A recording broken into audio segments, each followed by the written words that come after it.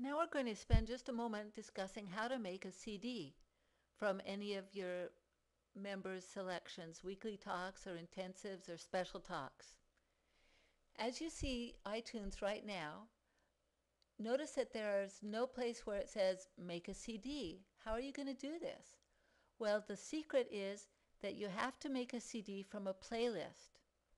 So we've covered in the prior video how to make a playlist. If you need to see that, go back and do that. But let's look at one of the playlists that we already have. I'll click on this one here, weekly November 29th. And we have a pre and a post meditation talk. We have two talks in it. The first thing that you want to check when you're making a CD is that a CD only holds about 80 minutes of music. So first check that your number of minutes down here is not too long. So for instance, if I wanted to burn several weekly talks, for instance, into one CD that I could listen to in my car, I know that I could put, uh, uh, not quite, but almost another hour worth of talks into this same playlist. Or I could create a new playlist until it got to be 80 minutes long, and I'd still be able to burn that.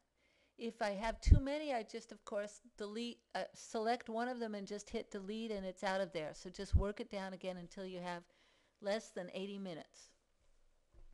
And then notice that when I have one of my playlists selected, iTunes changes and it gives you a new button down here that says Burn Disk. So all I have to do is click that button, Burn Disk, and it gives me a message that says, please insert a blank disk. All I have to do is put a blank CD in there into my player and it'll automatically record it onto the disk and then you can just hit eject and there you go. You have it all set. Now, that's how to make a CD.